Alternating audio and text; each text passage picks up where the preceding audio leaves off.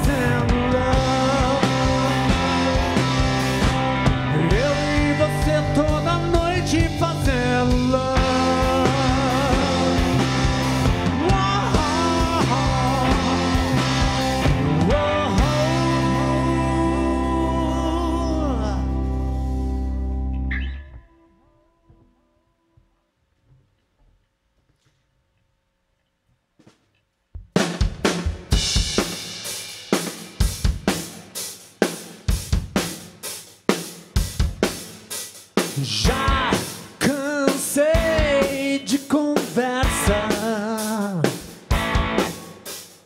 Pois eu encontrei as pessoas certas aqui nesse lugar. Oh yeah. Sei nessa cidade também tem.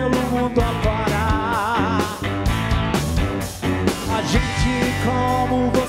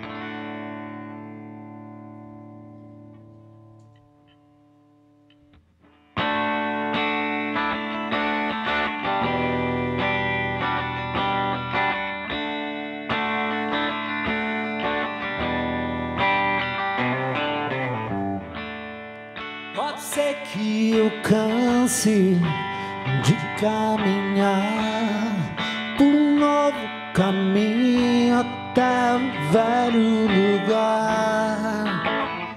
Chegando lá eu peço pra ficar um pouco mais com você.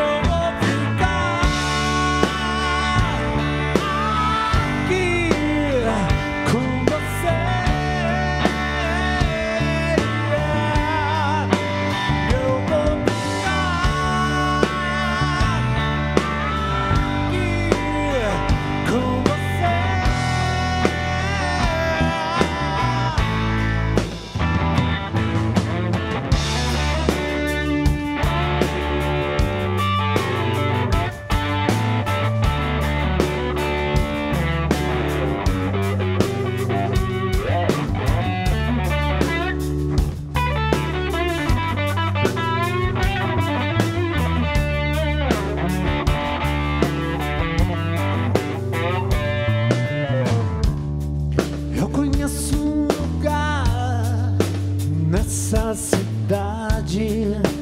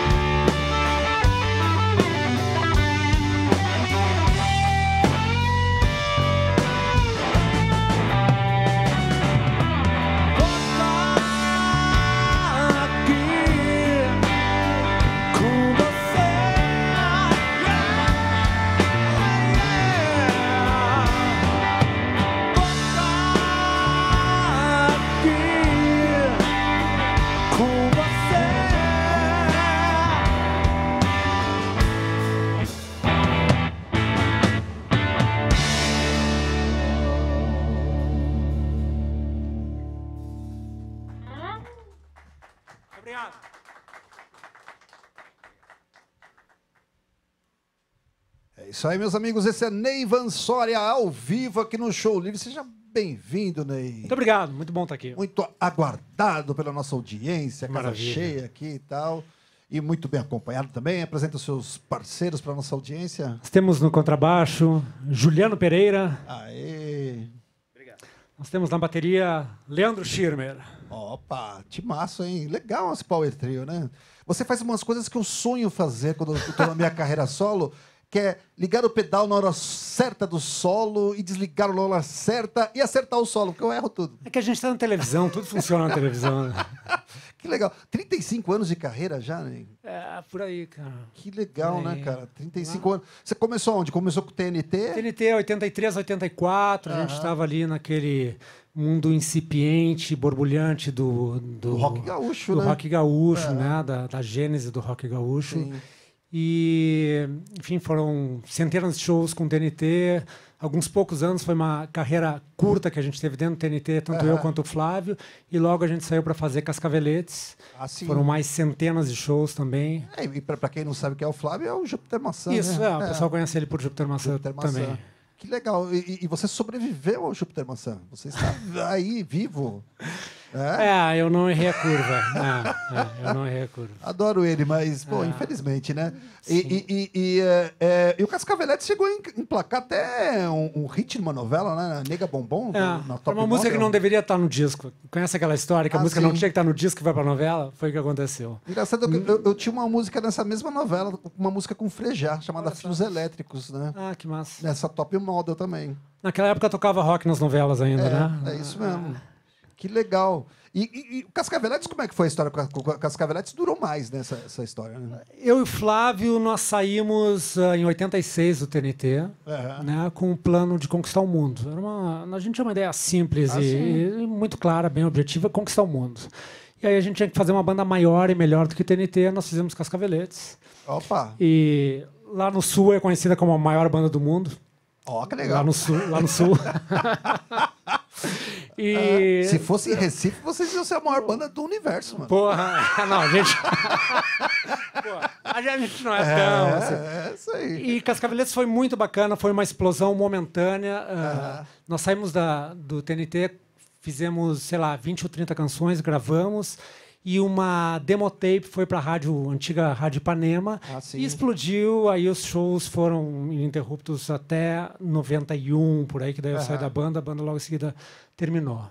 Ó, que legal. E o que você vai fazer para comemorar essa, essa carreira solo? Tô vendo que tem, tem vários discos aqui, ó. Eu, ao longo desses anos todos, desde que eu saí do Cascaveletes, eu Ó. tenho sistematicamente lançado álbuns. Uh, foi Avalon primeiro, depois Jardim Inglês, uh, Cidade Grande, para lá tem, tem, sei lá, 10, 11 álbuns. Um DVD também. O Neblina você- é, um, é um dos últimos lançamentos que, em 2017, eu fiz dois álbuns no mesmo ano. Legal. Eles- vão mostrar a capa, uma hora eles vão mostrar. Aê! Encontrou. Que ele encontrou a capa. Esse é um álbum todo acústico, que é uma canção que eu vou tocar daqui a pouco. Que é um álbum de protesto daquela merda toda que estava rolando no Brasil, Ah, esquerda, direita, todo mundo achando que estava com a razão, para esquecendo que no meio desse bolo todo tinha a grande maioria da população que estava afim de produzir, trabalhar Sim. e fazer a vida fluir, Andar, né? né? Andar pra frente, né? E não ficar tipo caranguejo, que nem o pessoal tava. Que legal. E Neblina aqui- é um álbum nesse clima. Aham. Rock Love é a música que a gente abriu. É, eu ah, vi. Você que- ama muito, né? é, um, é um rock, funciona muito bem em trio. Esse formato tem que ser canções mais ah, pegadas e que tem uma, uma liga assim do baixo, bateria, guitarra. Ó, que legal. E aqui tem Mundo Perfeito. Mundo Perfeito é um álbum duplo. Aham. né? Ah, são 21 canções. é, tem um trabalho gráfico Isso, eu maravilhoso. ia falar, essa capa é E- muito legal. E é um disco também que tem belas canções que ah, eu acho que. Muito piano, é, É, verdade. é. é. Que legal. E esse aqui eu lembro desse disco. É, porque- Jardim Inglês foi o meu segundo É. álbum solo, tocou muito ah, pelo Brasil Sim. e enfim, as canções desse álbum estão no repertório dos shows até hoje, Aham. porque o pessoal adora. É, Ah, e- e- esse álbum foi lançado pela Paradox. Foi, eu era, é, eu era eu- produtor musical da Paradox. eu licenciei para Paradox, exatamente. É. É, E a gente amava esse disco. Eles, eles roubavam, a gente vendiam pra caramba e falava pros músicos que vendiam só três, dois, mas vendeu bem, viu? Vou te... Que massa, que bom. É, eu sei É. porque a música chegou nas pessoas. Na época ainda não tinha essa porra dessa internet aí. Ah, sim. Então, os discos eram fundamentais para ir até as pessoas. As rádios tinham Aham. um, um trabalho importante de curadoria, de, Sim. de fazer, tipo, olha só, ouve isso, vem por aqui, tarará. E as tribos se uniam em volta disso, dos discos e das rádios. Legal. Quando você começou sua carreira solo, você já começou, você começou em 92 já gravando com a banda do Charlie Garcia, é isso Eu mesmo? fui, é, enfim, eu vim de duas bandas muito importantes no- no, cenário do rock, a TNT e Cascaveletes, e tinha que fazer alguma coisa que marcasse essa diferença. E sou fã da Argentina, do Ah, rock sim, argentino. eu gosto do rock argentino também. Tem grandes amigos lá e sempre ia à Argentina. E aí veio a ideia de gravar o primeiro single Aham. do álbum Avalon, que é meu primeiro disco solo, Sim. lá e acabei gravando com, com a banda do Charlie. Né? Pô, que legal, hein? Muito legal. massa. E já Isso, abriu uma conexão, né? Com, com- com- você ainda compõe com os caras. Com certeza. É, o Charlie participou de um trabalho de, de qual álbum? Do, cara comum. do Rock Love. Rock Ah, do- Não, acho que é um cara um cara comum. É. Rapaz, é tanto disco, né? Que é difícil É, lembrar. é Nossa, é, difícil. aquele. do- Ele tem uma função a mais além de baixista. Ele é o nosso Ele é um- arquivo. O HD ambulante. móvel. Você é o HD externo, né? da- É externo, isso aí. Que legal. Eu Vou dar um recado para nossa audiência e a gente já volta com mais música. Ó, você que está assistindo aí, participe, participe mandando seu salve, mandando sua pergunta para o Neivan Soria através do Facebook, do Twitter do YouTube. Só colocar arroba show livre que você fala com a gente. E essa apresentação vai estar no Spotify, todas as plataformas de streaming para você compartilhar com seus amigos, conferir novamente. E olha só, o canal de- do YouTube do Show Livre está chegando a um milhão de inscritos. É uma das maiores comunidades de musicais da internet. Então, meu amigo, não fique de fora. Inscreva-se no nosso canal e clique no sininho para ser avisado de quando vai rolar uma apresentação bacana por aqui. O rapaz já trocou uma bela Gretchen por um belo violão, sei lá o que aí. é. É um single que eu tenho que agradecer para os meus amigos da Abro Music que me emprestaram um violão para fazer esse número aqui hoje com vocês. Pô, que legal. Tá- Até, até os emprestados para vocês é legal. Isso aí emprestam felpa, umas coisas. Vamos de música então, hein? né? Vamos lá, essa é uma canção que está nesse álbum que tu mostrou antes, chamado Neblina, que é um álbum todo acústico e nesse momento complicado que o Brasil estava atravessando, ah, cheguei à conclusão, conclusão que duas coisas eram fundamentais para atravessar aquele período: tempo e paciência.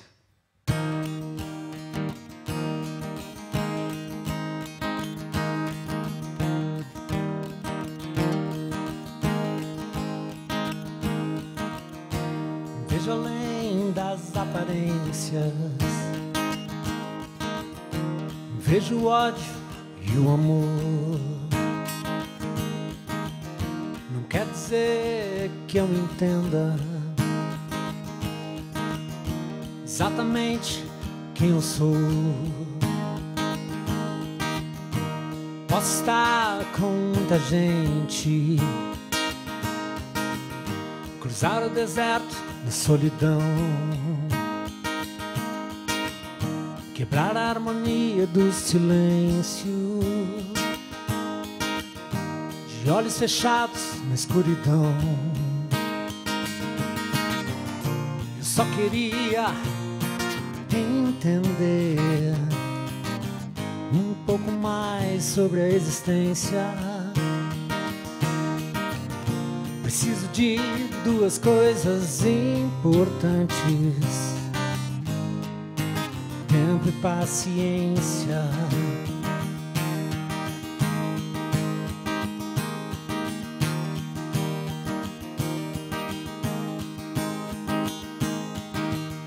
Sinto a energia dos problemas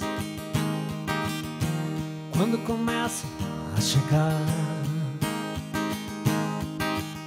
Resolvo tudo que consigo. Consigo, deixo como está. Onde posso encontrar essas duas coisas que preciso? Será que estão em algum lugar? Ou será que estão aqui comigo? Eu só queria entender um pouco mais sobre a existência. Preciso de duas coisas importantes tempo e paciência. Só queria entender um pouco mais sobre a existência. Preciso de duas coisas importantes: tempo e paciência. It's blowing in the wind. tempo e paciência.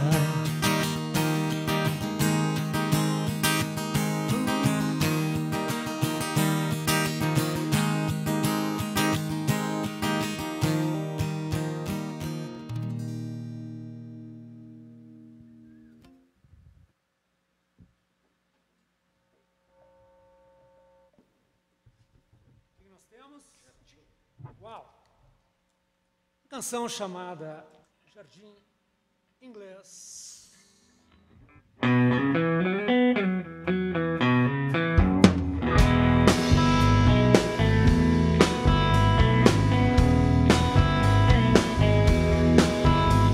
Sentado no jardim inglês, esperando pelo jantar, esperando o sol se pôr, esperando a noite chegar. Você escreve uns postais, eu espero pelo jantar. Estou sentado no jardim inglês Enquanto o mundo segue a girar Enquanto alguns choram ao partir E alguns outros ao chegar todos choram de saudade Da princesa que não vai voltar Sigo sentado no jardim inglês.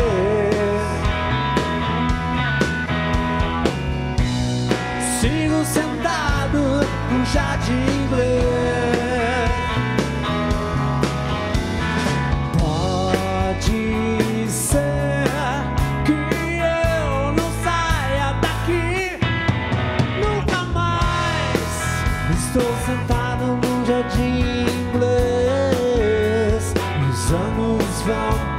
sun.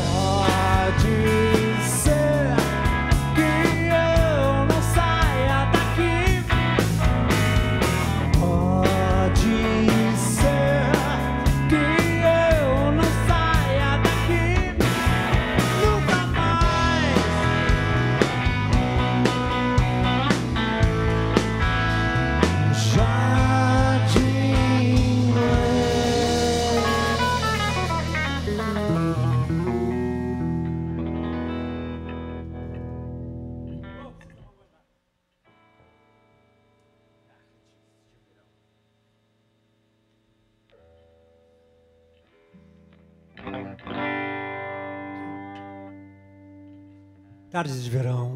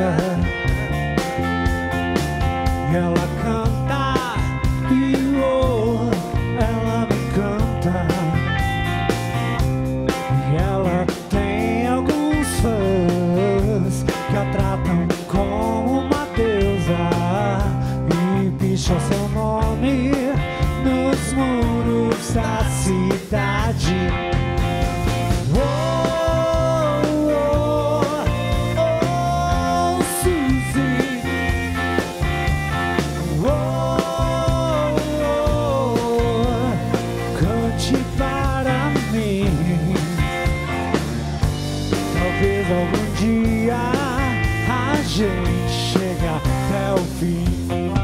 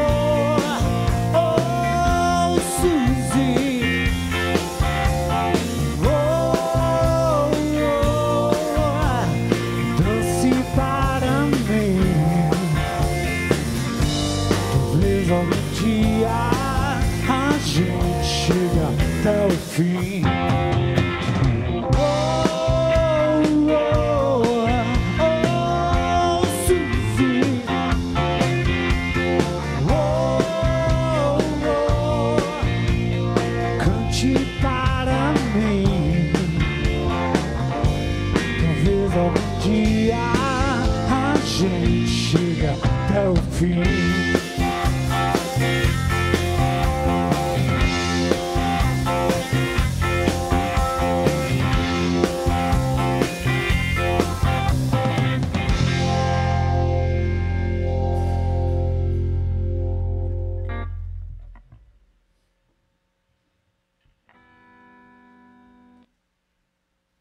Isso aí, meus amigos. Enquanto o Neivan Soria, o cara que mais trabalha no rock nacional, dá uma descansada, eu tenho um recado para você que nos acompanha e sabe que o cenário do show livre está muito mais bacana por causa dos incríveis telões da LED 10. É, a LED 10 tem painéis na medida para uma infinidade de aplicações e negócios do comércio atacado, da indústria ao mercado de eventos e entretenimento. Com a LED 10, o seu negócio vai ficar ainda mais exuberante e atrativo para os clientes, que nem ficou o logo ali do Ney Vansória, ficou super bonito ali e tal. Você que fez, Juliano? Não.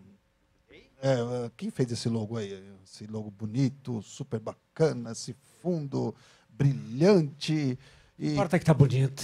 É, vai vender um milhão de shows aí por todo o Brasil. Ó, tem vários salves aqui e algumas perguntinhas. Ó, o Wide Robson, do Rio de Janeiro, né? Ele é, o, ele é o, a lenda do underground de carioca. Ele fala aqui que o Ney Soria, ao lado do Beto Guedes, é um dos maiores compositores do Brasil. Ó, Obrigado. Bacana, hein? Olha só, hein? Muito bem Bonito. Ah, o Júlio César Oficial fala admiração total. Grande Ney. A minha pergunta é: o que você pode dizer para todos os músicos que estão começando na estrada? Uau, uh, vocês têm que amar o que vocês estão fazendo, porque fora isso é muita determinação ah, e muita sim. fé no que o cara produz, o cara escreve para poder seguir adiante. Ah, o meu conselho é desistam. Já tem muita gente aqui, a gente precisa de espaço. Desista enquanto é tempo. enquanto né? é tempo, vai estudar outra coisa, vai trabalhar na farmácia. Ah, o Fábio Maciel fala: chegando agora, Clemente agradece ao Ney pela iniciativa de criar o Festival Rock Gaúcho em 2017. E gostaria de saber se vai sair em, em mídia física o álbum Duetos. E manda abraço para vocês. Sim, muito obrigado. Uh, o Festival Rock Gaúcho foram duas noites no Araújo Viana, lá em Porto Alegre, ah, com os grandes nomes uh, daquilo que a gente chama de rock gaúcho. Uhum. 7 mil pessoas, uma super bilheteria que foi dividida Legal. entre todos os músicos, foi muito bacana, todo mundo acreditou no projeto. Ele ah. foi feito simplesmente com a palavra, né? levantar o telefone, chamar todo mundo, todo mundo entrou no barco e foi um sucesso tremendo. Uh, nesse mesmo ano eu gravei tanto o álbum Neblina, que é esse acústico que eu toquei uma canção, como duetos que tem participação do Armando, do Gessinger, do. Rosa Tatuada, do Kalendecker, Hermes Aquino, Bebeto Alves. Uh, uma última composição minha com o Flávio também, com o Júpiter, tá nesse disco. E o pessoal pode encontrar no meu canal do YouTube vários vídeos dessas canções. O álbum físico deve sair início do ano que vem. Oh, que legal. E você eh, sobreviveu ao Gessinger? Cara, o alemão é um cara mal, mal compreendido, né? Ele é tímido, o pessoal não entende Não, ele é um cara, eu vou te dizer, o Humberto, eu aprendi a admirar ele ao longo dos anos. Evidentemente que no, nos anos 80 ele era o alvo preferido de chacota de todo mundo, mas sempre de forma muito carinhosa. E uh, ele é o maior artista da história do Rio Grande do Sul. Ah, sim, com né? certeza. Ele é o cara que maior que Elis Regina, maior ah. que Teixeirinha, maior que, sei lá, Nelson Gonçalves também de ah. lá. Põe todos esses num saco, não chegam perto do que Humberto é e significa para a música gaúcha. Com certeza, mas eu posso sacanear um pouco, né? Claro! eu já sacaneei na cara dele, né? Então tudo bem. O Zanirati ADM deve ser administrador, sei lá o quê não tem como não lembrar do Flávio, do Flávio ao ver o Ney. Olha só, né? Até teve um retorno, né, do, do, do, do Cascaveletes para um show. A gente é fez um show só em 2007 é. para uma rádio lá no Sul. E foi lindo, assim. Né? Legal. 25 ah, mil pessoas, pais, filhos, netos, todos chorando juntos. Foi muito legal. Oh, que legal, velho. O Pedro Carneiro fala: o Ney ainda mantinha contato com o Flávio Basso antes dele falecer? É, acho que até é. Sim. É, é, Tem uma música que eu escrevi logo depois que ele morreu, que eu convidei os antigos parceiros do Cascaveletes, uhum. chama Balada para Flávio. Tem um Opa. vídeo que está também no meu canal Ah, do YouTube, que, enfim, é uma reunião dos Cascaveletes ah, com o Flávio só em espírito, né? Ah, Então é uma bela canção ali feita com carinho Aham. para ele. pô, que legal.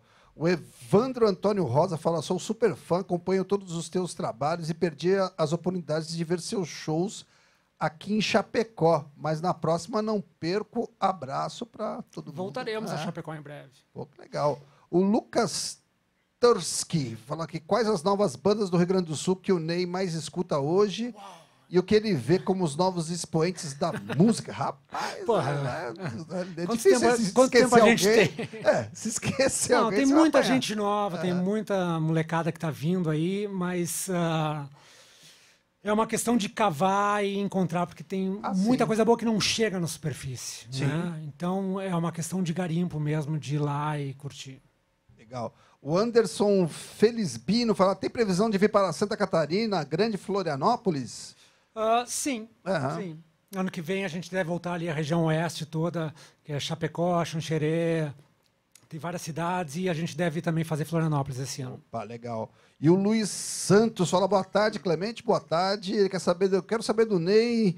é, como foi fazer a música Balada para Flávia em homenagem ao Júpiter? Obrigado pela, pela música de altíssima qualidade. Obrigado. Um abraço. Legal. Essa história aí que eu contei na reunião com os velhos amigos. É, legal. Rapaz, é, é- é engraçado, todo, todo mundo lembra com muito carinho do Cascaveletes, né? Isso é bom, foi, né? Foi uma banda daquela que morreu aos 27 anos, assim, sabe? Ah, sim. Que, que fez sua trajetória muito densa, muito marcante, forte e que durou pouco, né? Sim. A gente tinha uma, uma química explosiva Aham. que não permitia que a gente ficasse mais tempo juntos. É. né? E eu acho que, na real, o público ganhou, porque o Flávio teve uma carreira linda depois Sim. solo, eu continuo produzindo, o Frank Jorge Tá aí também, também. né, tá aí trabalhando, né? O Alexandre Bareia participando de vários trabalhos de outros artistas, né? O Cocaine Bluesman também tá lá Aham. com seu mini mug lá pirando e fazendo som também. Então, a gente ah, continuou produzindo e diversificando a música que a gente fazia, não só no núcleo do Cascaveletes. Ah, que legal. E, e- e- é isso que é legal, né? Todo mundo continua, continua trabalhando e produzindo.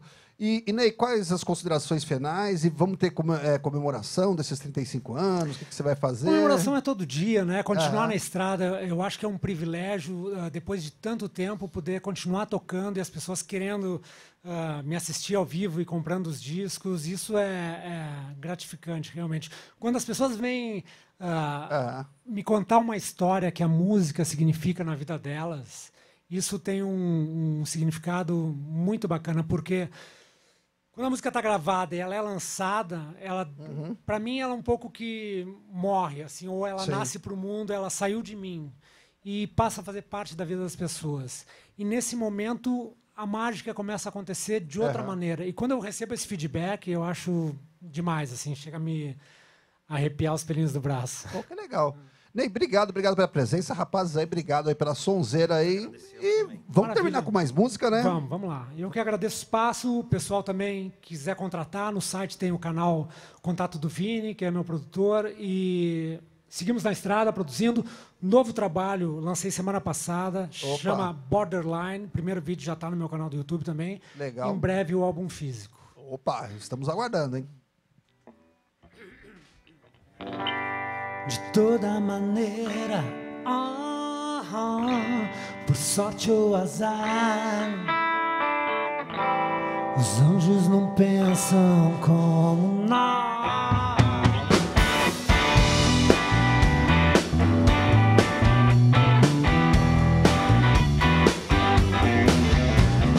Às vezes as pessoas fazem coisas às escondidas. Do céu, um anjo espia e anota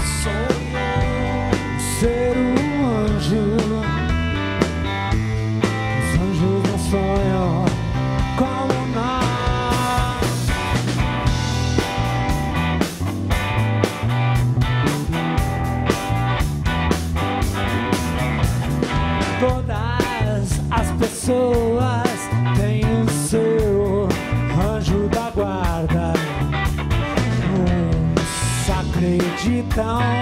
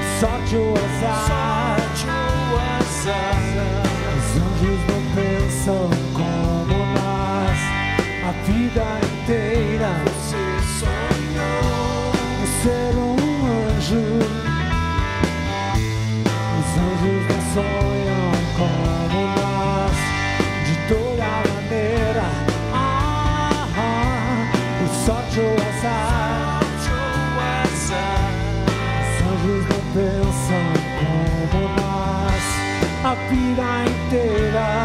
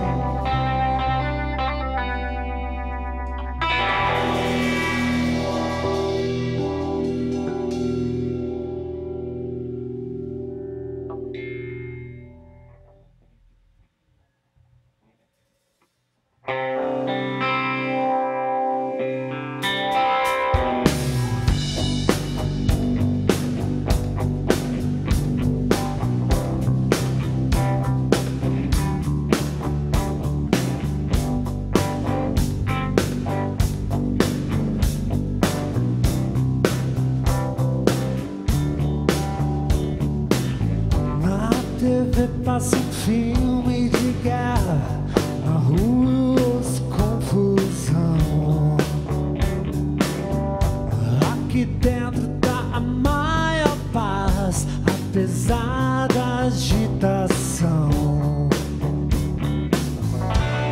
A tempestade se aproxima e o medo vem com ela também. Ah, espero que essa noite eu consiga dormir.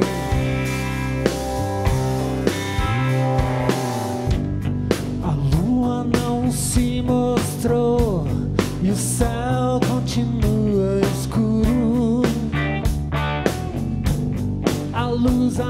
ainda não voltou e o que eu vejo são apenas vultos.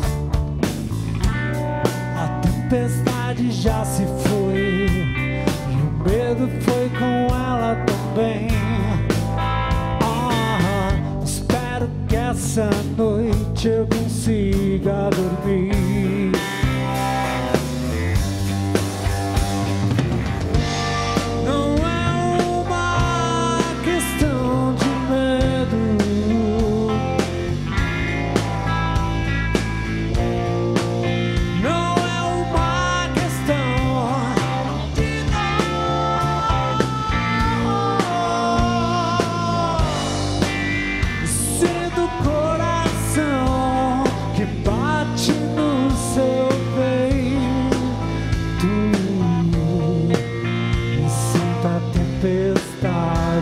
Tempestade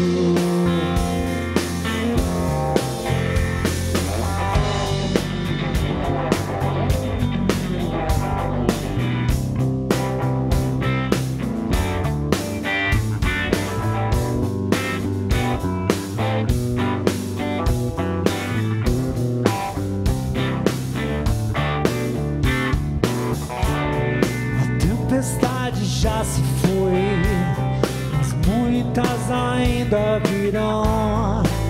Ah, espero que essa noite eu consiga dormir.